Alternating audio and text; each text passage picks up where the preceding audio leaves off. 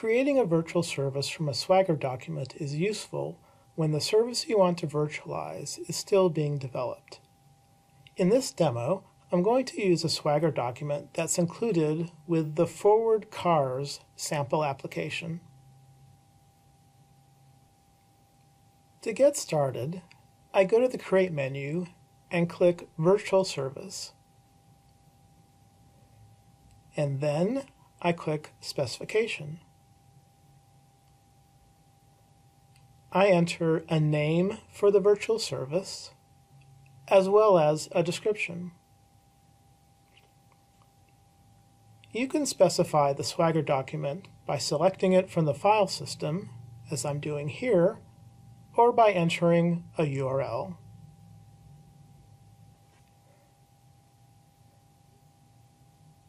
This screen shows the operations in the Swagger document. You can configure which of the operations are virtualized. You can also change the MIME types of the request and response.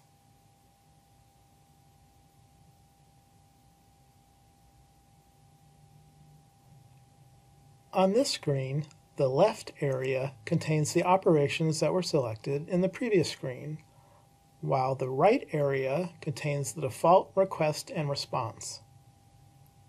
If I wanted to, I could add transactions or modify the requests and responses.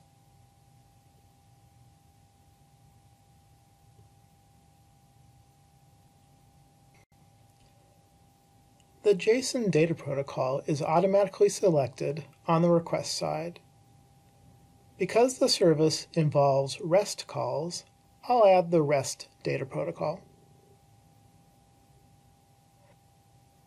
This step lets you modify the configuration of the data protocols.